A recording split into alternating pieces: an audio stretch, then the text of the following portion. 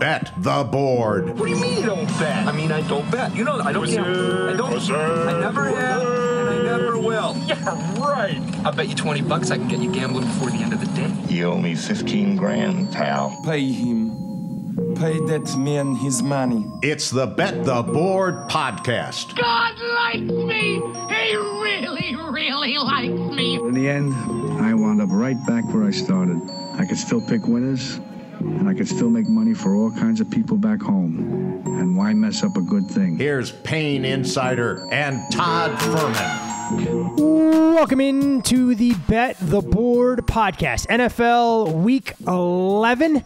Some interesting games on the docket and a unique scheduling quirk as far as Bet the Board listeners are concerned. More on that a little bit later in the program as you'll figure it out when we get to the fifth game. I am your host, Todd Fuhrman, joined as always by my esteemed colleague and co host, the one, the only Payne Insider. And Payne, I'm not going to lie, I'm a little bit disappointed you didn't decide to make the trip out to the West Coast and be sitting in the paddock for Red Bull when F1 debuts on the streets of Las Vegas later this week. I don't go to the one in my backyard. Why would I travel for that? I mean, Miami Gardens isn't anything close to Las Vegas Strip. Let's not sugarcoat driving around Hard Rock Stadium versus driving by iconic properties down Las Vegas Boulevard. I did have the great pleasure of trying to get from casino to casino while that was in the initial phases of construction, and going about half a mile took 20 minutes uh, in an Uber. So uh, I, I, did get to witness you know, that part of it. No, I am going? not right now. If ticket prices drop, I've been poking around a little bit uh, to try and see. There is the potential that I may get there, but as it stands right now, I am not ponying up the cash uh, that it will take to get me anywhere close to create a meaningful experience feel like your agent's got you 38 jobs. What are you talking about? I mean, look, are, are, are we, tumbling they, quick. The prices no are tumbling quick, but we know the football season we've had, so you have to be judicious with how you allocate your funds to try and get yourself back in the black. Interesting word choice there. So, I all right, let's get into the games themselves. Um, when we look at some of the overall scoring trends so far in the NFL this year, uh, scoring remains down. Teams are averaging just a shade more than 21.8 points per game, the lowest through week 10 we've seen in the NFL since 2009. We're going to spend a lot of time on today's show discussing the AFC North. And when we look at that, those quartet of teams, I mean, all four teams in that division are allowing less than 22 points per game this season. The last time four teams from the same NFL division finished a season Payne allowing 21 points or less per game was the AFC North back in 2011, which provides the perfect segue into prime time to talk a little Bengals and Ravens. With the Ravens a three and a half point favorite on a short week, welcoming in a Cincinnati Bengals team fresh off a loss in their own right against the Houston Texans last week. Total in the game 46 and a half. And when we look at the Cincinnati Bengals, you're going to hear it early, you're going to hear it often. The Bengals have lost 14 straight road primetime games. It's the longest such streak, losing streak, I should say, dating back to 2000. Four of those games have come with Joe Burrow at the helm. When we look at the Bengals' upcoming schedule, it is the NFL's hardest remaining strength of schedule. Opponent winning percentage north of 650. Every team they'll play going forward is at least 500. So if the Bengals are going to erase that 0 3 start to the season, they're going to earn their berth in the postseason. Meanwhile, the Ravens, it feels like a broken record, but this is a team that loves to lose games where they have leads late in the contest. They've led in the final two minutes of every game this season, yet are only 7 and 3. They're the 10th team to lead in the final two minutes of each of the first 10 games since 2000. Those other nine teams, Payne, were a combined 89 and 1. Bengals, great as an underdog, 6 0 ATS. The last six games, they've caught points. Joe Burrow, 9 and 1 ATS. The last 10 games, he's been listed as a dog. Meanwhile, the Ravens have struggled as a divisional favorite, going 1 and 7 ATS in the last eight. I lay all of that out to try and figure out the most compelling case to be made for or against the dog or the total. When we look at this Bengals offense, they'll be operating without Tee Higgins against the Ravens defense Payne that was billed to be one of the best in the league. They looked anything but when Jerome Ford ran right, ran left, and it was the Browns erasing a 14 point deficit to come away with an improbable victory last Sunday. That was us. We billed them to be the best defense in the league. I thought that was going to be their statement game. It certainly started that way. Let me ask you this: What you what you make of that game before we get to this one? I I continue to not comprehend what we see on a weekly basis this year. I if you had being down 14 and the way to get back into the game was leaning on Jerome Ford and two backup tackles on your bingo card, better man than me. I mean, and look, the Cleveland Browns defense, you know, they answered the bell, gave up 17 points essentially. It was a short field for the Ravens. It was a Kyle Hamilton pick six. And I think the most incredible part of that game was that the Ravens, we come to find out, were gashed by a quarterback that had his arm held together by bubble yum and a little bit of scotch tape going 14 for 14 in the second yeah. half. So just one of those data points that you'll sit there scratching your head. And when you want to anoint the Ravens as the best team in the AFC, maybe the entire league, they go out there and prove that they can't be trusted with nice with nice things. I mean, how many times over even the Lamar Jackson era, can you say, hey, someone went into Baltimore, was down multiple scores, and the way they got back in the game initially was just out physicaling them? I mean, it's just, it rarely ever happens. So to see that combination, it was very interesting in terms of this game, right? The Thursday night game, we got a we got a doozy finally. I know we've been kind of just grazing through some of the matchups because the Thursday night games have been horrific, but you get Burrow, who has been on fire since week five. He's completing over 76% of his passes. He's getting the ball out quick. What is interesting here is you dig a little more into this, and Mike Macdonald has had some pretty strategic game plans against Joe Burrow and the Bengals offense in the four game sample size that they've kind of squared off against each other three times last season.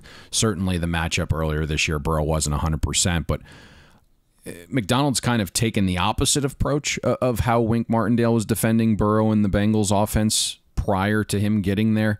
It's far more light boxes. It's a lot more zone coverage looks. Virtually no man coverage. Rarely is is Macdonald blitzing Burrow in these matchups. So you're seeing like lots of quarter coverage, tons of cover six. So you know the play basically starts out with what would appear to be seven in the box, but then you're dropping two out into coverage, typically one back or one safety. You mentioned Kyle Hamilton with that pick six. Kind of envision that where he's hanging out along the line of scrimmage, and you can either send him on a blitz, which typically hasn't been the case, or you're dropping him in, into coverage. The Bengals have run the ball kind of in spurts this season, got it going a little bit against the 49ers, but as a whole, just middle of the pack in efficiency. So it'll be interesting when the Ravens do show the light box. The Bengals are going to have to be somewhat successful running it. I do think we just see more of that approach of, hey, Burrow's just going to run the show here. We're going to keep him in shotgun. We're going to have him dictating this game, kind of playing point guard, get the ball out of his hands quick. You mentioned Higgins is out. Let's also keep an eye on Charlie Jones. Would be nice to get him back in the mix with with Chase Boyd and Irwin. You do have the lead Ravens corner Marlon Humphrey out for the season with the torn Achilles. That's a big loss. Now Baltimore secondary has kind of lived life without him before, especially the first four weeks of the season. Brandon Stephens is is coming off like a nice four game stretch. Rock Ya-Sin did return from a two game absence last week, filled in for Humphrey, wasn't very good in that role. I just do get the vibe if the Bengals can protect Burrow, he should be able to move it relatively well. I'm just having a tough time on this side of the ball based upon what Mike Macdonald's done to Burrow while also trying to process how a broken Deshaun Watson was able to finish the game 14 for 14 against the Ravens defense last week. There's kind of some quiet insinuation that their defense is starting to get a little bit worn down. Now you're on the short week the market's saying that the Bengals are going to have success offensively. What's interesting too is some of the comments that came out of the Bengals performance last week against the Houston Texans from Brian Callahan, and he was overly honest. Said we sort of game plan thinking we weren't going to have him, him being Ja'Marr Chase. Some of those things take reps and time, even though Joe and Ja'Marr have played a lot of football together. So what is the end result? I mean, Ja'Marr Chase finishes the game with the third most targets behind Tyler Boyd and Tanner Hudson. Now knowing that you're going to have Chase, Tee Higgins, look, not going to factor in whatsoever into this game plan. So you have to think Chase will be the alpha out there, force the Ravens to cover him, and uh, open up other avenues to be able to make things happen. Now, on the other side, Payne, I mean, the reason that the Cleveland Browns were able to come back down 31 to 17 in that game against the Baltimore Ravens is because the Ravens offense didn't put on their their foot on the accelerator and land a knockout blow. But that was against the Cleveland Browns defense. In steps the Cincinnati team who allowed the Houston Texans to do whatever they wanted when they wanted, and that included Devin Singletary running the football with reckless abandon. Uh, it included C.J. Stroud connecting on countless deep plays over the top.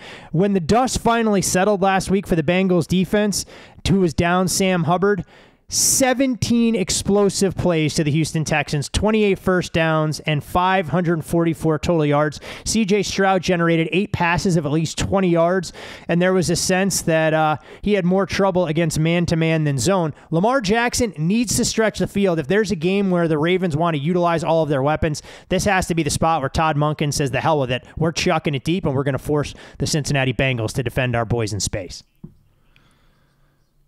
Yeah, it's always interesting because we had discussed Lamar's splits with zone and man, and he would just been so much better against zone. But you do have the data point early in the season where Lamar was pretty effective going against the Browns, and in their heavy man coverage usage, it just didn't materialize in the second uh, meeting there. But I would expect the Ravens to be balanced because of the down and distances they should be in. The Bengals defense right now has been really poor relative to expectation. You look at early downs, which is, you know, very much predictive of a defense. You know, you can kind of win some red zone roulette and you know have some late down variance on on third and fourth go your way and it can make things appear better than it is but very predictive early downs. 27th in EPA per play allowed. They're allowing nearly seven yards per play on first down. That's 31st in the NFL for the Bengals defense.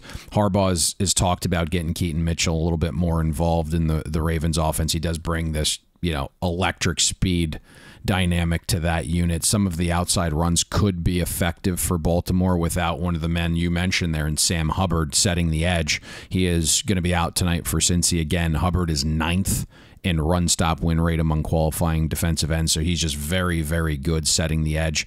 You even look with Hubbard in the lineup. Cincinnati on the season struggled to stop the run 29th in schedule adjusted run defense. So I, I do think that provides some balance tonight to where it's not all on Lamar. Trey Hendrickson is going to battle through. It was supposed to be an MCL sprain that could potentially keep him out multiple games. Saw video of him practicing yesterday. They were not happy about that. They apparently told some of the local beat writers, "Hey, you can you can film some things, but none of the drills." Um, that didn't end up happening. So you see Trey out there practicing without a knee brace, going through some drills. Very surprising to say the least. Now there wasn't really a ton of hard cuts. We'll see if he's braced up for tonight. But um, there was also a, a, pretty interesting presser this week from Lou Anarumo talking about not just how good Hubbard and Hendrickson are as players, but how they allow his entire scheme to work.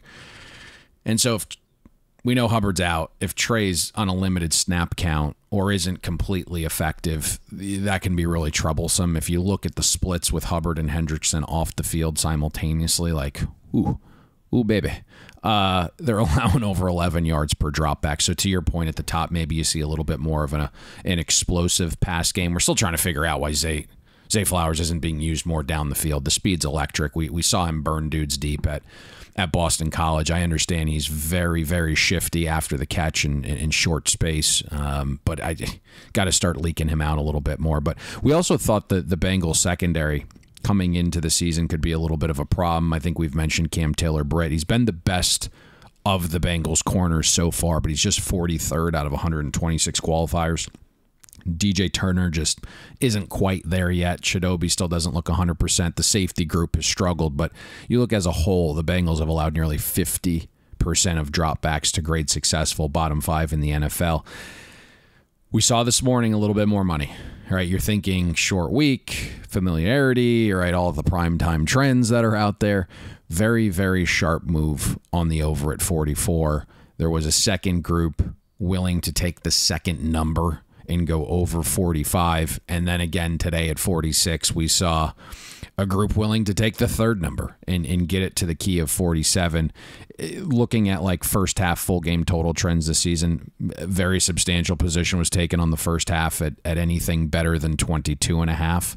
Um, we'll see if there's some some late resistance here, but you're talking about three or four different factions, all all kind of agreeing. You mentioned this. Zay Flowers, and I mean some of the numbers are staggering. According to Next Gen Stats, no wide receiver in the NFL with a minimum of 20 targets has been able to create more separation versus man-to-man coverage than Flowers with three yards. He's been open three or more yards of separation on nearly 56% of his targets. So you wonder why they're trying to harness the talented rookie out of Boston College. Maybe this is the spot where they can unleash him, knowing that he had a big game last week against the Cleveland Browns in a similar spot, uh, albeit in a loss for the Baltimore Ravens. But from Thursday night Payne into Sunday, where we'll have another pivotal showdown, one that takes on a very different dynamic in the AFC North between the Pittsburgh Steelers and the Cleveland Browns. The Steelers this season have been the definition of cutting it close, going 6 0 in one score games, but the Browns no strangers to tight games either, as they're 3 0 in games decided by three points or fewer. When we look at Mike Tomlin, 26 6 and 1 all time versus the Browns, it's the most wins versus the Browns by any head coach in the NFL history. They have the best record in a hist- in NFL history by a team outgained in nine straight contests, as it'll continue to be rinse and repeat for the Steelers. 19 wins without scoring 25 plus points over the past three seasons, tied for the most in any three year span since 2000, when, go figure, the Steelers accomplished something very similar. Beat the Browns week two, aided by two defensive scores and a long broken coverage play to George Pickens. Here come the Browns with a new quarterback under center in Dorian Thompson Robinson. They're 6 and 3 despite having the worst passer rating in the NFL. It's the second best record through the week 10 of the NFL season since 1970 by any team that had the worst passer rating going in. And if you believe in a little bit of momentum, the Browns trailed for 59 minutes and 20 seconds last week against the Baltimore Ravens. They had never won a game against the AFC North opponent when trailing by 14 plus points, previously 0 59 and 1. The Steelers, they have been an ATS juggernaut somehow, some way over their last 16 games, and the Browns have been an under machine, going 7 0 1 under the total the last eight home games. Payne, here comes the Steelers offense that can be best described as risk averse, and it's paying off for now. I mean, Mike Tomlin hasn't minced words, said pretty much our goal is to minimize mistakes. Kenny Pickett knows what's going to be asked from him. And if we don't turn the ball over, we can win those games up against the Cleveland Browns defense that was electric last week and is doing all sorts of incredible things when you look at their stat lines. Should be able to have some opportunities, maybe to create a short field or two if Pittsburgh feels like they're in a generous mood. Yeah, I mean, that has been the MO of the Steelers offense. Just don't turn it over. Believe they have eight on the season. That leads the league in, in the least amount of turnovers, and that's kind of how they've been uh, lucking their way into some of these wins. I think this is a really tough matchup for Pittsburgh on the road against this caliber of defense. You go back to week two, and I understand, you know, Diontae wasn't there. Um, but the Pittsburgh's offense was held to a 28% success rate in that matchup. It was the lowest mark of the week for any offense in by over 10%. So uh, it was not a very good matchup then. I don't know if it's going to be one here. We've talked about Matt Canada's offense many times, and you just think about what they are, right? Above average run rates. Kenny Pickett not really stressing defenses by using all parts of the field. It's really gotten worse. If you look, Pickett hasn't attempted a throw between the hashes in two straight games. So it's like, hey, we're going to be predictable and run. When we do throw, it's it's it's going to be short and outside, and there's just not a ton of creativity. I don't think the Steelers skew too far from that game plan, which is, you know, just again, run the ball, throw it short, keep it outside once every blue moon, you know, try to hit a safe deep shot as long as the game state allows it. Maybe if if Pat Freiermuth returns, we see more throws over the middle. The Steelers did kind of activate that 21 day window for return, and there was a direct quote from Freiermuth saying, "Hey, no issues, felt great, very comfortable out there doing all the normal stuff." So it sounds like it's trending well for Freiermuth. Jaylen Warren was named the starting running back. We'll see what that actually means in terms of of snap share. The Browns, we know season long have been pretty dominant against the run. First four games, they were they were number one in rushing success rate, allowed number three in EPA per rush. It has dipped a little bit um, since week five. It's still a top ten run defense in, in both EPA and and success rate. Um, but they've they've given up some longer ones. Obviously, we saw the explosive with with Keaton Mitchell getting outside last week. You just kind of get the feeling that there isn't going to be much here offensively for Pittsburgh, not just because they're they're porous, but but their style. Um, unless DTR is is starting to stress them a little bit and you're playing from behind, I would just envision the goal for Pittsburgh is is to remain mistake free. Um, it's kind of wild to think about where we are right now with this with this game, right? I mean, Chris opened 38 on Monday.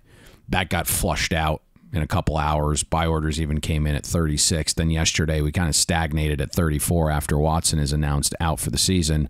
And then as soon as DTR is announced in and it's not PJ Walker, we're down to like a, a preseason number of, of, of 33. It just kind of tells you, you know, if the Steelers don't need to push offensively, they're probably not going to. Uh, you mentioned Kenny Pickett not really throwing into the middle of the field. You look at George Pickens; he's been relatively quiet over the last couple weeks. Just six catches for 66 yards and a touchdown over his last three games. He had 237 receiving yards in the previous two contests. Diontae Johnson, the Steelers have downplayed, saying it's not a big deal, but he was nowhere to be seen at practice yesterday. But he was made available uh, to the media, dealing with a thumb injury, so something you're going to want to keep tabs on. He finished the game though last weekend against the Packers, but for a player who works in the short and intermediate space, you don't have your thumb. It tends to be a little bit of a problem in terms of catching footballs. Uh, on the other side, Payne, here comes the Browns offense where fifth round rookie uh, Dorian Thompson Robinson out of UCLA will make his second career start. 19 to 36 against the Ravens earlier this year, 121 passing yards, three picks, and a 28 to 3 loss. But when asked what they're replacing, or you look at the numbers, Deshaun Watson, 29th in completion percentage, 25th in yards per attempt, and 18th in touchdown interception ratio among 33 qualified quarterbacks. And until he went 14 for 14 in the second half against the Ravens last week, you began to wonder if the light bulb was ever going to come on for Watson and what he needed to do to lead the offense. So last week, what do the Browns do? They turn to Jerome Ford and his week 10 performance finishes third in the league with 40 total yards, rushing yards over expected, fourth in yards per carry over expectation, and third in rushing efficiency. The Steelers defense depleted at linebacker. You have to imagine, even with a banged up O line, the Browns have one path and they're going to try and do everything they can to exploit it should they be able to find victory this weekend. Yeah, Cam Cam Heyward is is back, and that's a nice piece to have in the middle. So uh, it might not be as easy to run the ball as it was in in the first meeting or even potentially last week. But you're going to get that fired up. In terms of DTR, what's the downgrade? I think that's probably difficult to assess. I know our numbers basically treated DTR and PJ Walker the same, which I'm, I'm not sure is a thousand percent accurate because I do think DTR has the higher ceiling. We've seen what PJ Walker is if you kind of extrapolate out some of his numbers and EPA and completion percentage over expectation among you know quarterbacks with 500 dropbacks over the last like decade.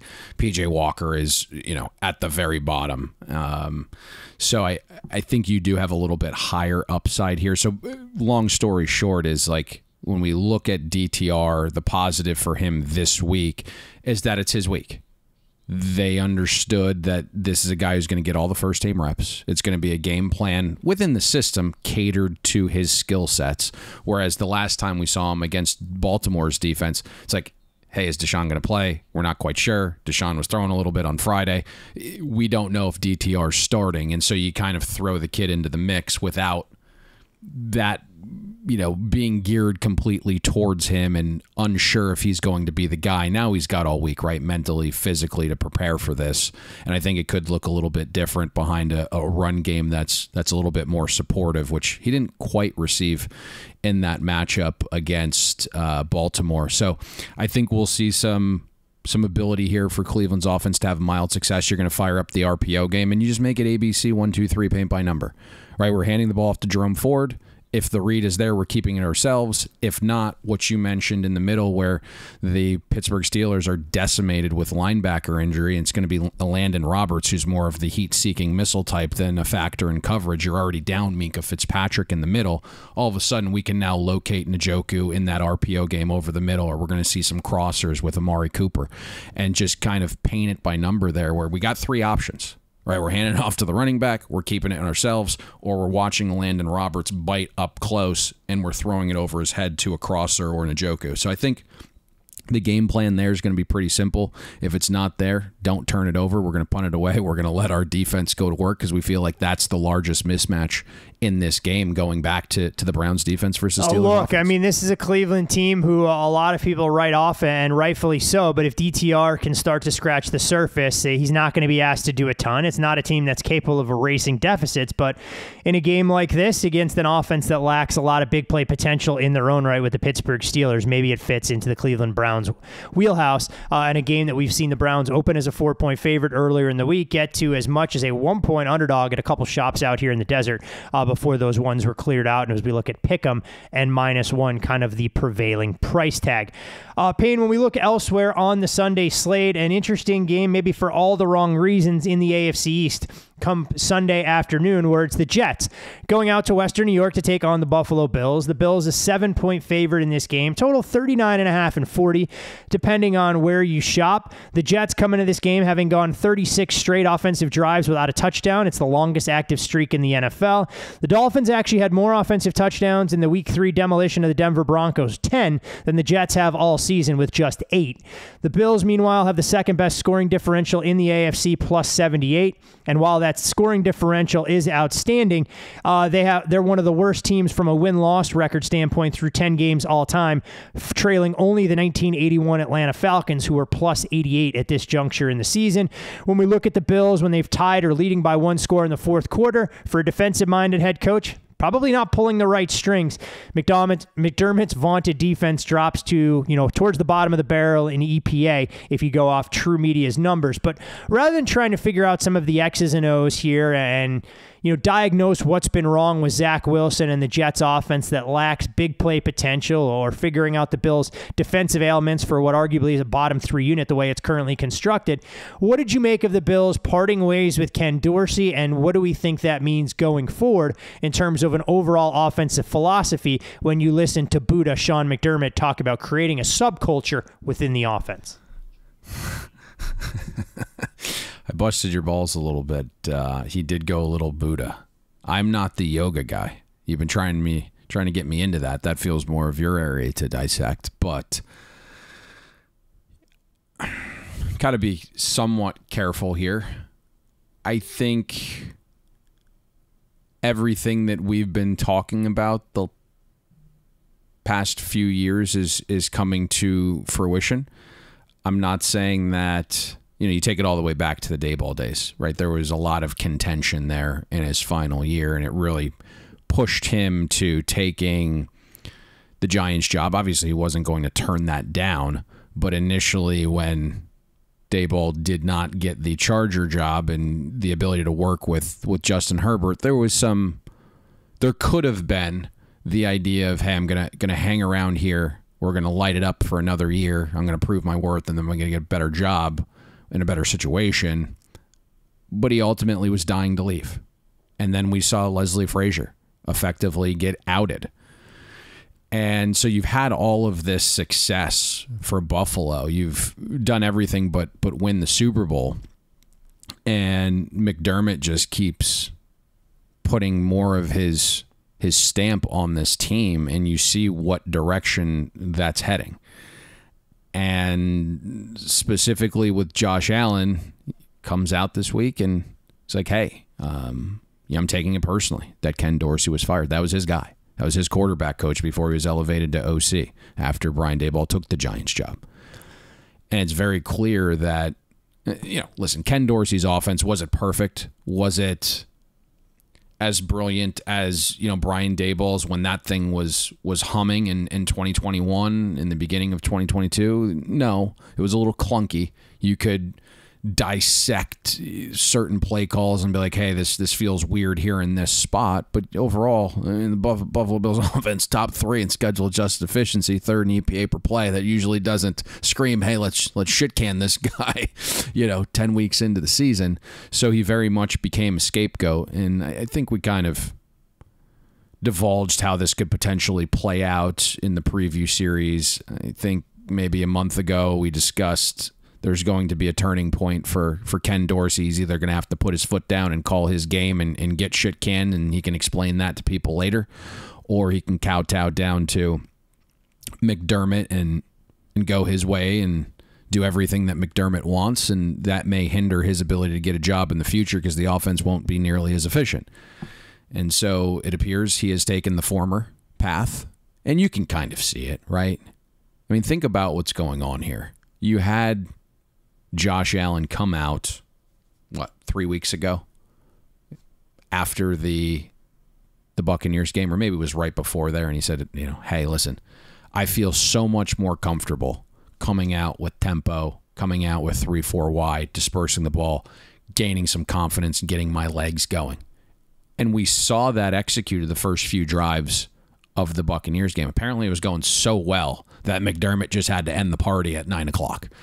Um, that's basically what he did there and almost cost him the game with a Hail Mary that phew, that would have been something. So, you know, you kind of fast tracked that to the Bengals game. And, you know, you don't have the performance you want there offensively. Some turnovers bit you against the Broncos. You were moving the ball. My guess is McDermott not only sees the loss, but sees that they were able to get Cook going late in that ground game, and it was pretty efficient in the final touchdown drive that Buffalo had. And he's thinking to himself, why wasn't this going on the entire game? And so he just should can the guy, right? Just that. I mean, Ken Dorsey was the scapegoat here. I don't know what this means moving forward. You obviously have Joe Brady, someone that was widely thought to be a great offensive mind. We understood, you know, I think we've discussed over the years some of the the back and forth there where you know, he was pried away from Sean Payton in New Orleans and that was that pissed him off a little bit. And you saw what he was able to do at LSU and then all of a sudden he goes to Carolina and it's it's horrific there. And so you're you're not quite sure of what Joe Brady's abilities are because it's obviously much easier to operate a college offense with with Joe Burrow and Jefferson and Ja'Marr Chase and it just didn't look that way in Carolina. So what are you going to get here? Is it going to be a more run heavy approach? you know, I don't know. I don't think this just suddenly ignites a fire where the Bills' offense is just going to come out humming. I, specific to this matchup, right? I mean, Robert Saleh and the Jets' defense have stifled better versions of this Bills' offense when that Bills' offense was playing with with greater confidence and in better form. And you kind of see the Jets getting tons of natural pressure on early downs without blitzing so they're likely to be able to get some pressure while still playing coverage. Internally, I don't really want to get too much into that, but did indicate some off the field issues towards playoff time last year with, with Josh Allen. I feel a little bit better talking about it now that it's kind of come public and that, you know, he had a little bit of a a breakup from the old lady and now he's he's moved on to something new and obviously some some things floating around out there about Diggs and, and Josh Allen and the women and of which they hang out with. So I there's there's so many things going on here. Um, I, I think what's interesting, Todd, and I don't want to keep going on this. You can feel free to interject here. It concerns me a little bit moving forward Think about who had to call the players only meeting offensively last week. It was the new guy. Even though he's the veteran, he's the old guy. He was the new guy to this team. It was Latavius Murray. And so you have the players only meeting. And then you go out and lose. So usually you get the one game bump off of the players only meeting. What's crazy here is my for the first time in a very long time, just pure core numbers, throw out all the drama, throw out all the bullshit going on there. It would show some value in Buffalo. I just I can't get there. And so it doesn't surprise me that we've seen under money in the market. Let me kind of just phrase it that way. So that's that's kind of my my take here. I don't I don't think this is suddenly going to get fixed. Your take, sir. What, how are you feeling on this now that, that we've kind of gone at nauseum at this this little breakdown here of of what's going on internally. Uh, I mean, Buffalo. look, it's a team that's got to figure out its identity. And I think Sean McDermott trying to find a scapegoat any way he can to protect his job. Uh, it's always the situation that you point your finger one direction. You can't get rid of the player. So, what's the other alternative? You get rid of some of the members of the coaching staff in one way, shape, or form. Yeah, I uh, I wholeheartedly agree there. I, I'm not really sure what this means going forward. We'll find out here here soon enough. But uh, ultimately, this game became a lot more fascinating because of the the things going on internally in Buffalo. And I so you'll I, th- I think you'll know here pretty quickly. When you look at Buffalo overall, I mean, you look at their upcoming schedule. Clearly, they'll have their work cut out for them if they're going to get into the playoffs. more, they're, when they're, do you? yeah, I was going to say, and the first now. time we've talked about them for a Super Bowl favorite coming into the year, you know, when do you begin to go, okay, this team has reached a rock bottom price and you can begin to buy in, or does it feel like there's something even bigger um, than what you're seeing on the field? Because I'm an idiot, I realized that I actually had you on mute, so you probably didn't hear. No, I'm gonna have to go back and listen to the whole thing. So minutes if we peel back, if we peel back the curtain for our listeners, you go through, I was- you go through all of that, and I go, wait a second, I have to go back and listen like the rest of the listeners when everything go, goes live. So I try and take your verbal cues as best I can, and the joys of doing 500 of these and hoping that I can get directionally correct, just like you do dealing with cell phone reception. Yeah, I, I didn't realize I had you on mute there for, for the vast majority of that. But I was I, I did mention um, what was interesting is that you know we've been trying to fade Buffalo here, and there was a group that that put out a buy order at seven last week. But I thought the sharpest guys in the world were were on the Broncos. Now, did they expect to win the game outright? No. But what is what is odd to me, and I was I was indicating for the first time in ah, shit at least three weeks the number does depict some value here um, on the Bills. I just I can't get myself there. And the same group that put in the buy order at seven on Buffalo Monday night, or ahead of Monday night rather, against the Broncos, did also bet the look ahead line that was was was six and a half on Buffalo, and that's kind of why we got to a seven there. I don't think things just immediately get solved here because of, of Joe Brady. I don't know what he is. And I, I, I did say earlier, right, like struggled in Carolina. I would assume getting promoted here and being picked by McDermott would lend itself to doing things that McDermott wants him to do. it's just something I said a couple weeks ago. It's like, you know, you get the vibe of your quarterback coming out here and saying, Hey, I love to do A, B, and C. And your head coach is just saying, No, we're going to do X, Y, and Z. And it's shocking to me that someone in that position can't just take a step back, take a deep breath, realize how close you were to winning a Super Bowl, doing things that maybe you didn't necessarily love but was successful and now all of a sudden that your your your fingertips are all over this thing. And you're shit in the bed that you would at least be cognizant to be like hey um, maybe i need to take a, a step back here. Maybe i need to kind of transform things back to how they were.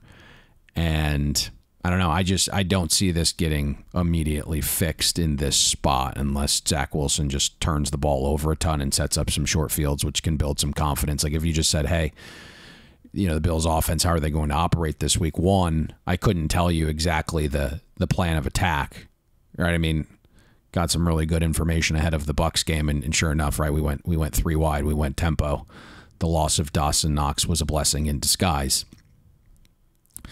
here with Joe Brady, you would think after the firing of Ken Dorsey, this is going to look more like what McDermott wants it to be.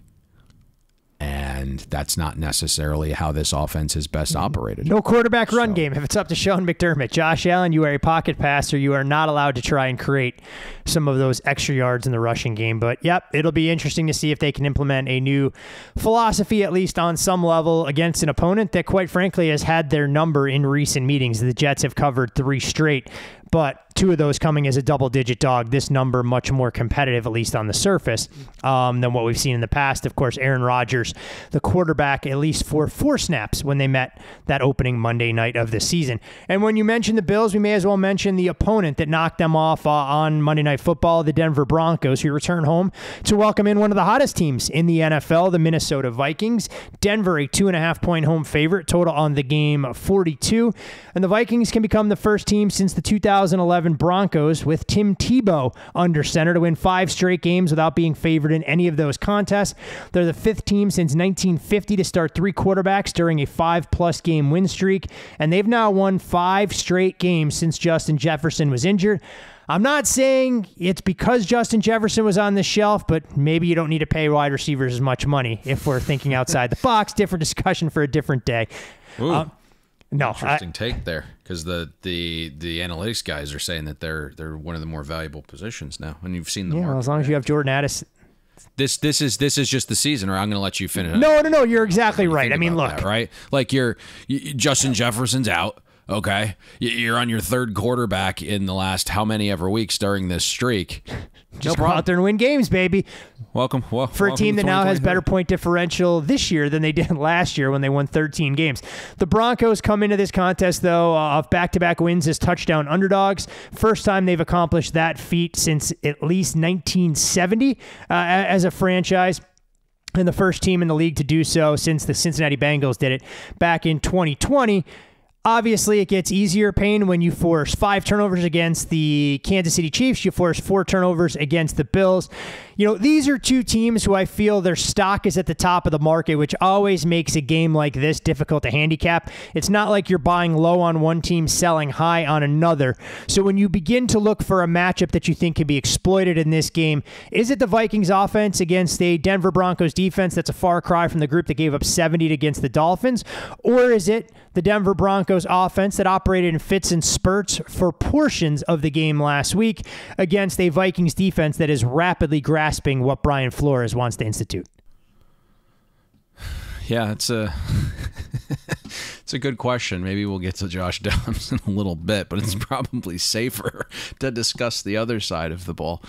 Um, I think the blueprint for Denver right now is is is pretty crystal clear, right? It's it's all about being low variance. I don't know if it's as low as, as the Steelers' offensive identity, but it's run the ball with Javonte Williams, you know, sprinkle in McLaughlin and add a dash of, of Perine and you just look at the Broncos right now, 26th in pass rate over expectation. So it's all about the ground game. Offensive line, which they allocated a lot of resources to this offseason, has started to finally mold with some of its new pieces, right? Denver is third in run block win rate, moving towards being top five in adjusted line yards created. So they're getting a good push now. Minnesota on the surface has been fantastic negating long runs they've really prevented some of the busts and the explosives. But down the down, Minnesota 22nd rushing success rate allowed in non-garbage time situations. So you can move the ball methodically on the ground against them. When Russ does throw, Sean Payton has him being very careful. 31 out of 37 qualifying quarterbacks in intended air yards. Occasionally, you- you'll see the patented Russ Moonball. That's what drew the uh, pass interference against Buffalo and set up the game-winning field goal late there. But most of it is is short passes. Russ in this spot is going to have to be pristine with pre-snap reads and then be decisive post-snap and then deliver with quick trigger because there's some some cat and mouse here with how the Broncos pass game will work here, right? I, I think when you look at Brian Flores, still bringing a ton of heat, 49% blitz rate, highest in the league. Russ is graded out QB 30 when blitz. Now, if Russ can get it off, he's going to have some opportunities. The Vikings play gobs of zone coverage. It's mostly cover two. It leaves a lot of open areas there where you can just say, hey, this, I can read it pre snap. I know that this area is going to be open, right? This defender can't cover that area quick enough. Russell Wilson has torched that specific type of coverage that Minnesota uses, right? In cover two. He's QB2 in passer rating against cover two. So that becomes the interesting dynamic to that. Listen, we, we've seen some sharp under money in this game. We talk all the time about key numbers, 44 being one of them. We're down to 42. It's no surprise, right? Back to the underwell with a conservative Broncos offensive game plan and improved defense. the Broncos defense has gotten healthier. First five weeks of the season, the Broncos stop unit was on this historic rate of failure, dead last in EPA per play allowed by a long mile. Since week six, top 10. Now, yes, some of that has to do with some some nice variance in terms of turning its opponent over. But I think this this game has just kind of taken on you know a little bit of an interesting tenor in that you know there were really sharp bettors hoping the Broncos covered Monday night but didn't win outright so they could come back here and lay one or a cheap money line. I do think if this gets to 3, the Vikings at that price will become interesting for some. I I always try to deliver it straight. Like there truly is no hot take. You look at the film, you comb through the data, you share some opinions with with the sharpest guys in the world, and sometimes, you know, the facts negate a great feel good story. The sharpest people in the market will tell you how they feel and what's truly going on if you pay close enough attention. I know last week we went under 20 and a half in the first half of the Vikings game. Within 12 minutes of the podcast going live, some of the sharpest shops moved to 19 and a half, right through the key of 20 despite us not winning in the NFL publicly this season. Justin Jefferson was out. We anticipated KJ Osborn being out. That was the word we got even though he was cleared, he was out. We expected Hockenson. Son of a bitch. TJ Hockenson. Now, he went he went absolutely nuclear but on Sunday morning, right, days after our podcast, you had all of the insiders reporting Hawk would be limited, would be on a snap count, potentially only used in short yardage in the red zone. You get two more layers of confirmation on that total and groups going under on game day. And I know, right, there's there's two, three guys, the vocal minority attempted to deliver an expose on, on what variance is on social media without an actual understanding of it. So it's probably for me, it wasn't worth continuing the dialogue, even though I don't mind interacting with with people online. But you think about what Josh Dobbs was last week: quarters one, three, and four. Josh Dobbs had a negative 0.04 EPA plus completion percentage over expectation. If you extrapolated that out for a career, that number equates to being substantially worse than Josh Rosen. Okay. In fact, that would make Josh Dobbs the worst qualifying quarterback in that category since 2012. But for 11 minutes out of 60, all 11 of those positive minutes coming in the second quarter, Josh Dobbs went nuclear. He had the very best, best adjusted EPA per play of the week during that sector. If you extrapolated his second quarter out for a career, Josh Dobbs' career would have been three times better than Patrick Mahomes. That is the very definition of playing worse than Josh Rosen for 49 minutes or playing three times better than Patrick Mahomes' career for 11. That is the exact definition of variance. So what you get here, I I don't know, and that's why I think there'll be a little bit of a a battle here. Um, I would assume with the total now coming down to 42, the Vikings are going to be an extremely attractive teaser. Like right, make make a low variance Broncos offense beat you by by multiple scores, beat you by margin. I do believe. Well, I shouldn't say that. I don't know if we're getting to three, but I think if we got to three, right, there'd be some some some interest in the Vikings straight there. There was some interest a little bit earlier in the week on on the Broncos on a cheap money line. So I think again, just one of those games where a little bit of a difference of opinion, but the one that seems to have meshed uh, among multiple multiple groups was was the under on this one at, at 44 even some some bites at 43 and a half you mentioned tj Hockenson set an nfl record 10 receptions, 128 yards, and a touchdown, becoming the first tight end to ever put up those kind of numbers in a single half. So, for all the NFL insiders that thought he was going to be limited, the only thing that actually limited him, him was the fact that it's a 100 yard football field. If it was 150, he probably would have gone for 200 yards the way the Saints elected to cover him or not cover him in that second quarter. Uh, you can follow Payne on social media at Payne Insider. I'm Todd Fuhrman. You can follow me there as well. Most importantly, follow the podcast at Bet the Board Pod. And you can also follow follow our injury analyst, Dr. Deepak Chona, who normally joins us on Monday, had a prior commitment, so he wanted to provide a little bit of an update as far as some of the marquee players, what it means for your fantasy lineups, and your handicapping going into NFL Week 11. Are you injured or are you hurt? When injuries occur in the NFL, you need someone to call on. If you're hurt, you can still play. If you're injured, you can't. Let's check in with Dr. Deepak Chona, Stanford and Harvard trained orthopedic sports surgeon and founder of Sports Med Analytics, the industry leader in data driven injury analysis. So are you hurt or are you injured?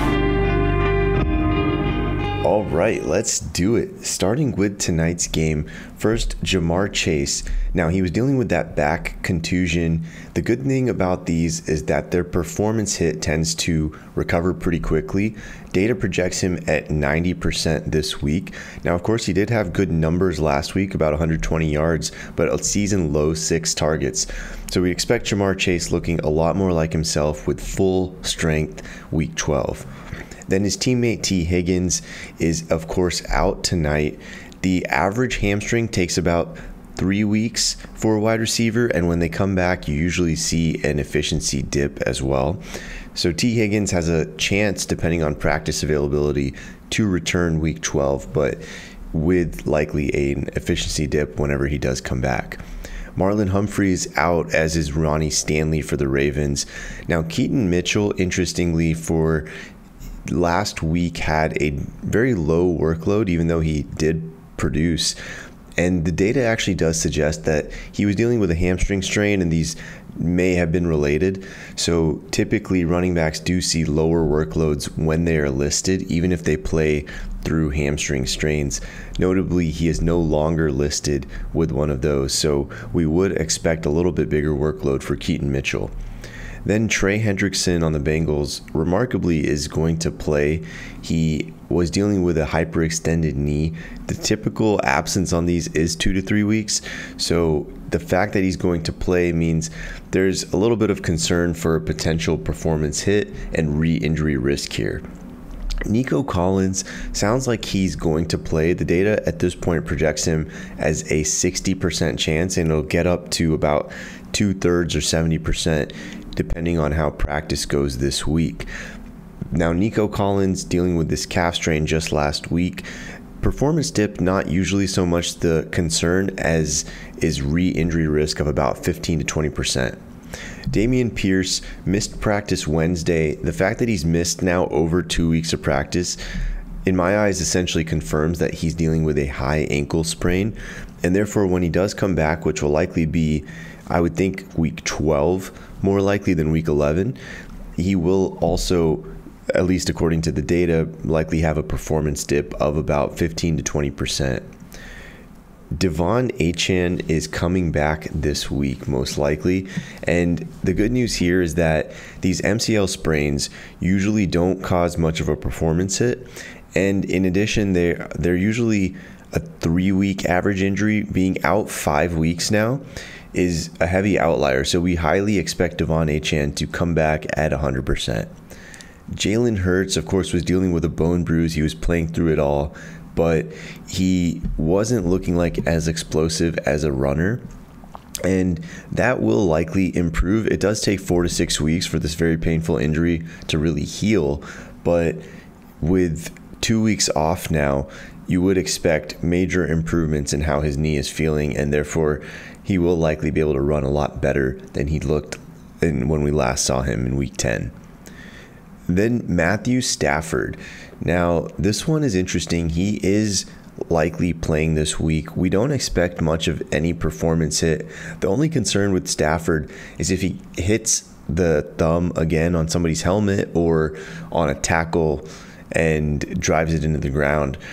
Again, that's really the only concern. Otherwise, Matthew Stafford will very likely look like his old self. And it's a similar issue with Justin Fields. As long as things go well, we don't expect any performance hit. Justin Fields already logged a full practice, so essentially, I would almost guarantee that he's playing this week. But with Justin Fields, if he drives that thumb into the ground on a bad tackle by chance, that would be the concern here for a re injury. Deshaun Watson, of course, out for the year. The sounds most likely what happens is that the shoulder partially dislocates and and chips off a piece of bone in the socket called the glenoid. Now, the recovery from this, the surgery results are pretty good, and return to sport rates are very high. The recovery from this takes about three to four months for him to start throwing again, and then usually in the four to six range, I would think probably in the six range for him to return to contact activities. So we don't expect any limitations on Deshaun when he comes back at the start of next year. Kyren Williams is eligible to return week 12. Most players would. He has a high ankle though, so when he does come back, the data projects him for a 15% efficiency dip. And you have to wonder if the Rams are going to be a little lighter with his workload. He was basically seeing every snap and every carry before he got injured. Darren Waller is eligible for a week 14 return. Now, with Darren Waller, though, the question is one, the Giants are a bad team. Two, he's older. He's had multiple hamstrings this season, and now he's he's had multiple severe soft tissue injuries, about four by my count, in the past five years. So with Darren Waller, you have to wonder. For, he's eligible week 14, but it wouldn't be surprising if he's held out a little longer than that. Treylon Burks has not yet returned to practice. Per Turron Davenport, the Titans insider, he has not yet cleared concussion protocol. And there doesn't seem to be tremendous optimism that he's about to. So with Treylon Burks, I am, would think that the data would predict that he would come back this week, but he did look like he had a pretty severe hit. So if they take it slow with him, wouldn't be totally surprising. It would be a little surprising if he comes back later than week 12. Keenan Allen dealing with what looked like an AC joint sprain of his shoulder on the video. Now, he was able to return this last game and still played pretty well. And most AC joint sprains don't cause extended absences, so I would suspect Keenan Allen does return to practice at some point this week and plays this weekend. Usually see a very mild performance hit of about 10% in terms of production.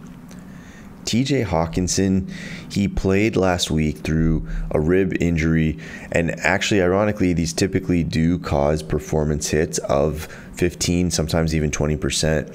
But TJ Hockenson had a great game, so there's no reason to suspect anything different. He was limited in practice on Wednesday, but not suspecting anything too drastically surprising here.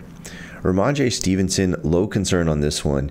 He was dealing with what sounds like a back contusion or back spasms.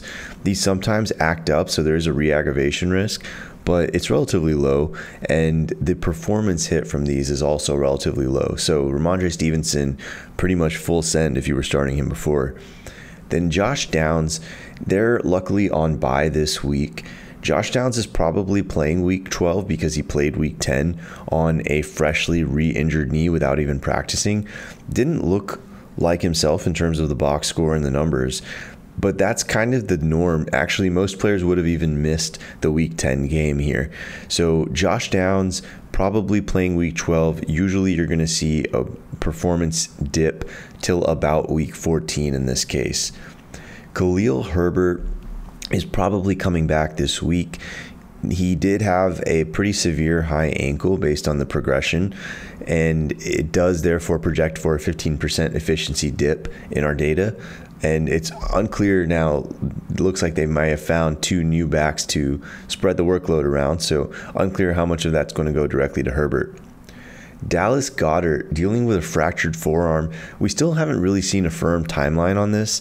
In most cases, bone healing takes six weeks. Sometimes, depending on where it is and how stable it is, you can push a player back up to about five weeks for the return. But in, in most cases, a fractured forearm, if that's truly what it is, ends up in that five to seven range. Aaron Rodgers, we do suspect he is coming back towards the end of this year. December would be about three months, and mid December, rather, would be about three months. So, December, January, I think, is a somewhat realistic target in the sense that he's willing to risk re injury and he's willing to come back at much less than 100%. If you remember back to how Joe Burrow looked when he was dealing with a right calf strain, and again, a right handed quarterback dealing with a right calf strain, is quite a bit different because he has to drive off of that right calf significantly, whereas Aaron Rodgers will be kind of using that left calf a little bit as a peg leg. So Aaron Rodgers, we suspect he can come back towards the end of December. I don't think he'll be able to run much, if at all. And I think you're going to be looking at some shotgun snaps, quick passing, but that's still probably an upgrade over Zach Wilson. So I think there's a chance it could break all the precedents, and I don't think we'll see it really again because this is an older player with looking for a left calf strain on a quarterback who's right-handed. So it's a very special circumstance, but I, I think it is possible. Derek Carr, he is in concussion protocol. The shoulder issue, although it's a re injury of his AC joint sprain, doesn't sound like it's that severe. So that shouldn't hold him out. The concussion protocol usually means he would be out this week, which is their bye anyway, and returning the following. Marshon Lattimore, now by video, this looked like a moderate severity uh, high ankle sprain, and therefore the average on these for DBs is around four weeks. Because they have the bye, it's a little unclear if he's going to go on the IR or not. It would be about that timeline, though, to see Marshon Lattimore back. We do suspect he comes back by the end of the year, though. Minkah Fitzpatrick still has not returned to practice. Even if he logs two limited sessions this week, he's still only going to be at a 50% chance of playing, according to the data. Now, I would suspect, based on the Steelers' recent experience with Diontae Johnson and Pat Freiermuth, that they hold Minkah Fitzpatrick out with this hamstring strain for one more week and he returns week 12. Jaire Alexander, not a lot of details on this one available, but Jaire Alexander has been held out of, so far of practice, and it's listed as a shoulder. And the ironic thing is that most shoulders don't cause huge extended absences, but in this case, it, it may be a little different. So Jaire Alexander, as far as we know so far, no indication that he's coming back this week. Andrew Thomas, he had his knee rolled up on and he left the game last week. He has returned to a limited practice. If he logs two more limited practice sessions going into this weekend, then we do have him as a 60% chance to play. A little unclear what the actual diagnosis ended up being, and you can't totally see it on video. But Andrew Thomas, we suspect he is going to be out there with the data favoring it just very slightly. And that is all I have for now, so I'll kick it back over. Uh, I mean, with these injury reports, Payne, Deepak's going to have to get paid by the word. I mean, we're up to 15 minutes, 16 minutes. It's going to get its own podcast at this current rate when you're highlighting all of the marquee players that are banged up, limited, or out for an extended period of time. You didn't even deliver the cool shit. And that the guy we have delivering injury information couldn't be here on Monday because he was he was operating on something. That sounds like that? a humble so, brag. That I mean, sounds like a humble in, brag. We know the he's the smartest the one we've have anywhere around bet the board. I mean, that's honest. He has the name doctor in front of his title. Uh, but yes, clearly saving lives is much more important than providing football updates. Although I'm sure there are plenty of our listeners out there who might disagree. Yeah, I mean they wanted that information on on Monday, uh, but that was why he he wasn't there Monday, and uh, but was but was able to deliver all the key and pertinent information ahead of uh, getting your fantasy lineup set and your your your bets placed this weekend. So. Uh, just a laundry list of of information there, including you know some key factors uh, that are partaking or not partaking in this evening's game as well between the uh, Ravens. Uh, and the reason why Deepak won't be here the following Monday is because there is no show uh, for the holiday week. We'll keep you posted on social media when the joint NFL and college football program will go live, but rest assured we have a full Monday night breakdown for you right here, right now, with the Eagles and Chiefs doing battle under the bright lights of Arrowhead Stadium in a Super Bowl rematch. The first Super Bowl rematch the following season, where each team entered with the best outright record in their respective conference. It's the second Super Bowl rematch from the previous season that'll take place on Monday Night Football. Hasn't happened since 1997 when it was the Packers and Patriots. Andy Reid off a bye. Well, you know, narrative is one thing, uh, results are another. 30 and 6 in his career off a bye, 21 and 3 in the regular season, 7 and 1 in the playoff opener, and 2 and 2 in the Super Bowl. The Chiefs, meanwhile, are the number one seed in the AFC, but are averaging their fewest points per game in the Patrick Mahomes era at just 23.1. Six games this season under 24 points, tied for the most in a season since Mahomes took over in 2021. 19 points and one touchdown in the fourth quarter this season, both the fewest in the NFL. Meanwhile, on the flip side, the Eagles are the first team since the 2005 2006 Colts to start 8 and 1 or better in consecutive seasons. This is the second game of a six game stretch that's a murderer's row of sorts, where they'll face the Cowboys twice, the Chiefs, the Bills, the 49ers, and the Seahawks. Meanwhile, Jalen Hurts continues to win games as the Eagles starting quarterback, especially when they step up in class. The Chiefs, they've been an under machine this year, going 7 and 2 under the total, tied for the third best mark in the NFL, and the under has hit in five straight Chief games, which is the longest active streak. Paying the Eagles offense, we figured it could go through some growing pains, some fits and spurts. Jalen Hurts has dealt with a knee injury. A.J. Brown putting up video game like numbers, but the ground game has really slowed in recent weeks. In steps a Chiefs defense that ex- is exceeding everyone's expectations. George Karlaftis generating pressure in his sophomore season. L'Jarius Sneed and Trent McDuffie being a nightmarish matchup uh, for opposing receiver rooms, and a Kansas City team who's taken their defensive identity to heart, going out there and performing as one of the top stop units in the entire league. Yeah, the run game hasn't been as efficient if you're comparing it to last season. I think you know there's some level of uncertainty to Jalen Hurts' health. Not that he won't play. I mean, he's playing, but you know, is he going to be a willing runner past unscripted chaos and in, in, in, the tush push? And I think the loss of Steichen obviously hasn't helped, but when you're running, you know, a read option based run game and Hurts isn't willing to read and take off as often, that that's going to contribute to a decrease in rush efficiency because guys can just key on the running back. Defenses aren't going to you know, show Hurts as much respect, they're going to cheat running back. So you, you look at it in totality, the Eagles are still sixth in rushing efficiency. They were just head and shoulders above the entire league last year. So that's kind of drawing much of uh, the criticism there. Based on the style of defense Spags and the Chiefs play, and not having a great run stuffer in the middle, the Chiefs can be beat up down to down still on the ground. I mean, they're they're bottom five in yards per rush allowed before first contact, 25th in rushing success rate allowed. So there's certainly a path on the ground for the Eagles to have some success here. Now in the throw game, that's where the Chiefs have been outstanding. You kind of mentioned all of those those cornerbacks who are playing extremely well. Feels like Trent McDuffie makes a freaking game changing play almost every game now. That Chiefs secondary third in schedule adjusted pass defense, third in EPA per drop back allowed. I know the Eagles fans were banging the table to find a slot receiver. I don't know if Julio Jones is a slot receiver, but you did go out and at least add that receiver. But in general, kind of been like a a very condensed pass game in the sense of who Jalen Hurts actually throws to. AJ Brown has been a monster, number one in the NFL in team share of air yards. He makes up nearly 50 percent of the Eagles' air yards. The Chiefs have fared pretty well against wide receiver ones. Now, I mean, you know, AJ Brown a different different animal, but Spags typically devises a good game plan for number ones, not to have them completely torch them.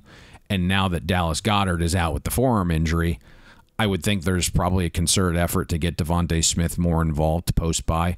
We've kind of seen Smith's target share increase almost 7% when Goedert isn't on the field. And when you pay closer attention to number ones like Spags does, sometimes that can lead to a, a secondary option being more involved and, and, playing a larger role, which I'd kind of anticipate there. I do think from the onset, you'll see Spags test Jalen Hurts' mobility with some early blitzes. Now, he's not blitzing as much as he once did, but still an above average league rate there for the Chiefs in terms of, of sending pressure. That worked relatively well in the Super Bowl last season. I use that word very strongly, relatively well, because that was kind of the the times that Hurts did struggle a touch. Obviously, he was fantastic, but you also look this year. Hurts has been at his worst against the blitz so far this season. So you, you want to test that mobility, and I, I, think we'll see Spags at least dial that up early on, prove that uh, hey, this is a guy that we don't want using his legs, and then we'll drop back into coverage. But I think you'll see at least a couple blitzes early. Hey, you have to try and see what some of your opponents are capable of doing and get Hurts uh, out of his comfort zone. We'll see how that deep bone bruise has healed up if he's ready to go and provide a very unique and valuable valuable element to everything that Philadelphia wants to do on the offensive side. Now, Kansas City offensively, Payne, I mean, this group, you keep waiting for it to gel. The reality of it is, look, the record is going to put them in great standing. They don't have to peak until the games start to mean a heck of a lot more down the stretch. And we know Patrick Mahomes usually elevates his level of play during the month of November.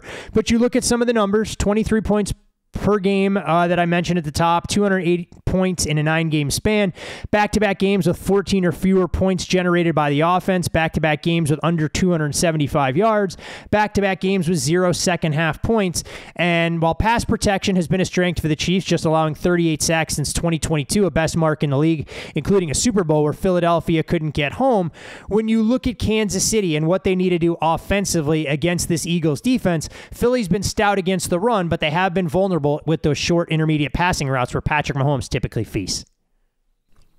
Well, let me ask you this before we, we kind of deep dive this thing. What do you make of the Chiefs' offense? How do you view them perceptually? Because outside world, it's like, hey, this this offense has fallen off a cliff. And I think if you're gauging them based upon the historically good offenses or the offenses that are number one in the league by a long mile, you have a leg to stand on. The way they kind of feel like they're being talked about as if they were, you know, the the Raiders offense or the Jets offense, and the reality is like it's still kind of a fringe top five offense, still finding its way that seems to have another gear in, in some I think it's scary games. for the rest of the league if these young receivers start to figure it all out and you get maximum production out of Rashee Rice that we've seen flashes of, probably the number one receiver on the outside uh, for Patrick Mahomes. Andy Reid uh, didn't mince words this week talking about how they've been very careful in terms of deploying Kadarius Toney, knowing he's still recovering from knee surgery. And we saw what he can mean to the offense as an explosive route runner and game breaker in that regard. Uh, and look, I mean, we saw it during peak Patriots years. I mean, you don't have to be playing your best football in September and October. You want to be peaking when the games mean a heck of a lot more in November, December, and January. And if this defense is going to be for real, it takes a lot of the burden off the Kansas City offense to be that high flying unit we've grown accustomed to over the last couple years, where they had to mask some of the defensive deficiencies because not only were they unable to stop the run, they also struggled in pass coverage. Yeah, and I think specific to this game, it feels like it's going to be completely in the hands of Patrick Mahomes. I don't envision a ton of run game efficiency for, for Kansas City. And I think that's one of the things that's quietly going under the radar. We're all wondering, hey, what's going on with the pass game? What's going on with Patrick Mahomes? The interior of the Chiefs O line hasn't gotten the same push through 10 weeks it's gotten the last couple seasons. I mean, you're looking at the Chiefs right now, bottom 10 in rushing efficiency. The Eagles defense, top three defending the run. So I just I don't think there's a, a massive path there for success. But to your point, the Chiefs' short passing game should really work here. Throwing over the middle to Travis Kelce is is more than in play. Something we outlined last season. You know, the Eagles' pass defense has not been good defending short throws. Last year it was bottom ten in the league in EPA per pass attempt allowed on short throws. This year it's bottom five. Maybe the Eagles throw a curveball off the bye schematically but the style of coverage Phillies used this season with Sean Desai hasn't been the type that's given Mahomes trouble.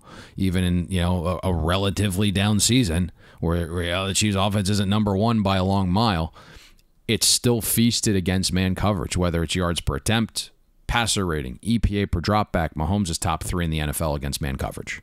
Sean Desai has upped the rate of man the Eagles have have played year over year, seventh highest rate to date this season. I'm I'm not sure that works here. Kelce is, is going to have a featured role.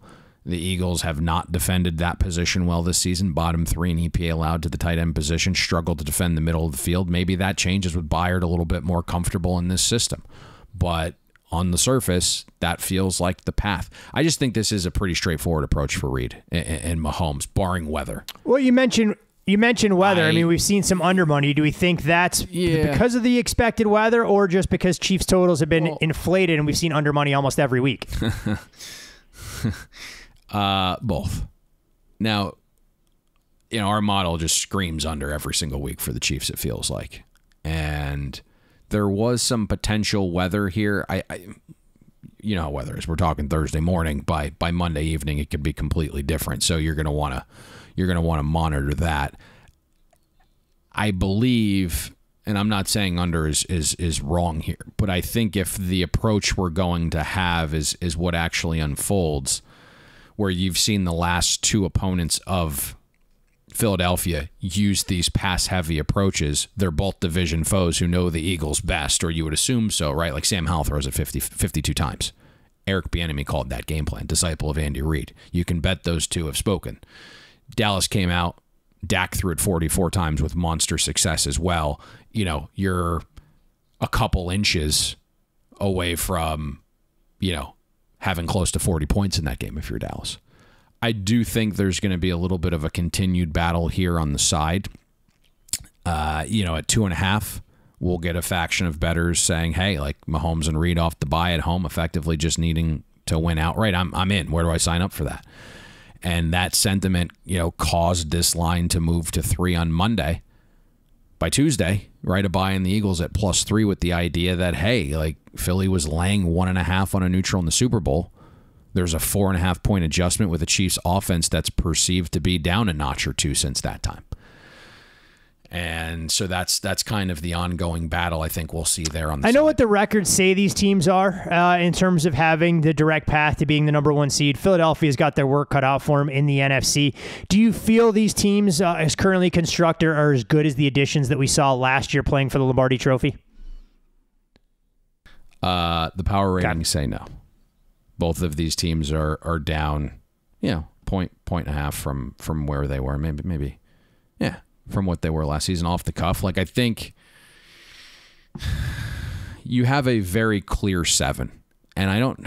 Did we talk about this off air? Maybe it was ahead of the Lions Ravens game, or maybe it was actually ahead of the the Ravens Seahawks game, where you know you had the Seahawks kind of in that like 8 to 12 range and I just said I didn't see them ever being able to sneak into the top 7 because of of Geno Smith.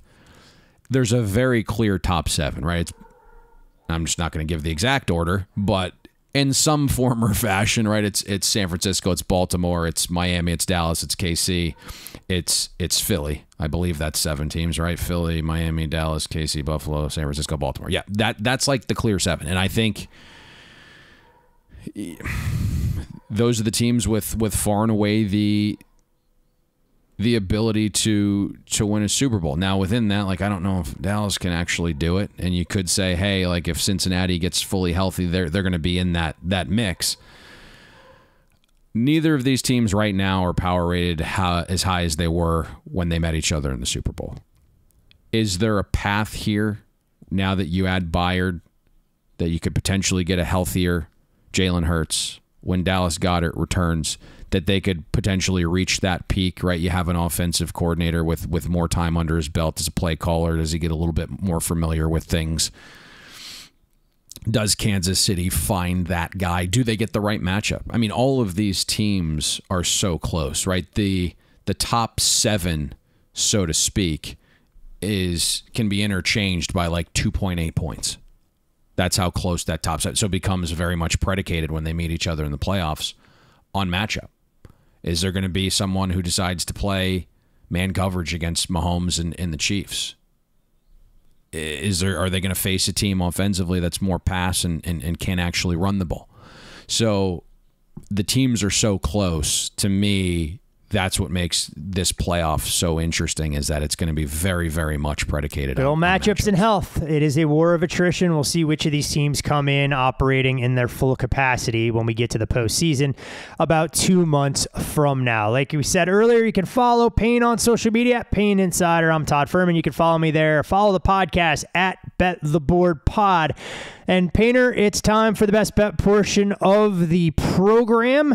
Uh, no Monday show as we highlighted, so uh, feels good to get that off our plate early on with a fully extensive Eagles and Chiefs breakdown. Uh, but what have we seen in terms of early week movement and where there may be an opportunity for our listeners to exploit? So, you know, we talked off air. We went through a couple options here. I think what the most intriguing option at this point is is going with rotation number 452 the Cleveland Browns. There's a lot of pick out there. You know, you can get minus 05 on the money line at Pinnacle right now. and I know it's not going to be something that excites people going to, to war with DTR, but I just I think the best unit on this field is the Browns defense. We've now had the Pittsburgh Steelers continuing to defy the odds, been outgained in all nine matchups. When I just look at our power ratings and I say, what is this team with without Deshaun Watson? We still have the Browns about one and a quarter point better on a neutral neutral field than the Steelers. So you know, say you give you give two points for home field advantage here, or you're you're kind of pushing towards a number closer closer to three, and so I think you know the the narrative here is is that DTR you know threw up on himself in his first start, and, and that, that's accurate. I just feel like you know now this game plan is going to be a little bit more catered towards towards him he's got the full week repping out with the ones. It isn't, we're not quite sure Deshaun's going to play this week. Oh, he shows up at practice and throws a little bit on Friday. Like, I just feel like that's that's the right path. We've had Cleveland in this spot before with what I would deem maybe the floor is the same, but I do believe DTR has a higher ceiling than a PJ Walker. Again, we've looked at PJ Walker's data for his career. I mean, he is he's bottom of the barrel. He's he's Josh Rosen status, and you know they're able to to win games just battling it out with defense against better teams like San Francisco. You really start to go through the, the data points for the Browns, and, and they become more impressive the the closer you look at them. And and boy, that's a that's a tough injury there with with Deshaun Watson, what they could have potentially had. I didn't you know, I knew in the moment the defense was good, but you start kind of going through the schedule and how they've played these teams. I mean, you, you go into Seattle with PJ Walker, you get punched in the face early, you're still able to battle back with PJ Walker. Now you give up the game winning drive, you lose the game. But it's been very impressive what Cleveland's been able to do with some of these injuries and the adversity. And so I just value wise, situational wise, spot wise, it just it feels like a very nice buy here on the Browns. Again, you can get minus 105 on the money line at Pinnacle. There's a bunch of pick um, with a total at 33 in a game that hey could could potentially be won by by one score here. You know, you don't want to lay the one if that's your only option, but uh, plenty of pick out there, plenty of very very nice money line options on the Browns this week. So let's go. Shop around, best, best available, best unit on the field, the Cleveland Browns defense. Uh, you hope that Pittsburgh is in the spirit of the season and is generous with the football. A team that's protected the ball exceptionally well, poised to have a little bit of regression in that regard. If Cleveland can get in there, make life difficult for Kenny Pickett, uh, and the Browns ground game is able to get on track against a banged up linebacking core for the Pittsburgh Steelers. All right, my friend, uh, NFL in the books as far as podcasts are concerned. Now it's all about getting the games to come home the way we draw them up. Anything else you'd like to share with our loyal listeners before uh, we wish them the best of luck this upcoming NFL and college football weekend? No, look forward to reconvening next week. We'll do a mix of the college and NFL like we usually do every year ahead of Thanksgiving. We'll have a little bit more details on on when to expect that, but uh, We'll chat then. Best of luck to all of you, our loyal listeners, the guys and girls out there that'll be finding their way to the wagering window this weekend. And with the Cleveland Browns ticket in hand, come Sunday afternoon, we'll see you at the window. We hope you enjoyed listening to this episode of Bet the Board. Make sure you follow Todd and Payne on X. Todd is at Todd Fuhrman. That's T O D D F U H R M A N. And Payne is at Payne Insider. That's P A Y N E I N S I D E R. Don't forget, our weekly newsletter comes with an additional best bet. Have that delivered to your inbox by clicking the link atop the podcast show notes. And most importantly, subscribe and download Bet the Board. We're on Apple, Spotify, Amazon Wondery, YouTube, Google Podcasts, and all your other major platforms.